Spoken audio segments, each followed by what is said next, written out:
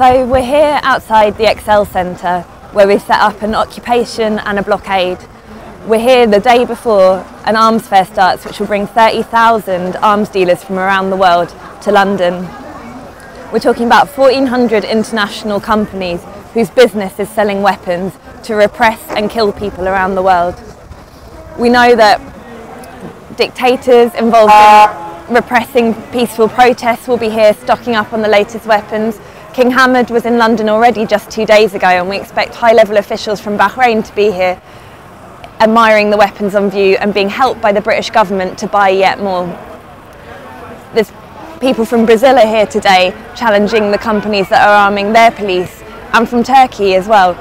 And everyone's come here today to try and show solidarity with the people who face the weapons here and to stand in its way. And so far it's been a really big success. We've blocked the gates for over three hours. There's hundreds of people occupying the roundabout just outside the Excel. Tents are set up, so hopefully the occupation can continue throughout the arms fair so the arms deals do not go unchallenged and we can try and get in their way as much as possible. Um, the police have now arrived. Apparently they don't want us on the road. Would that be because it's stopping military equipment getting in? We think so because we've already turned away two warships here at the start of the day. So we know that they're still trying to bring stuff in.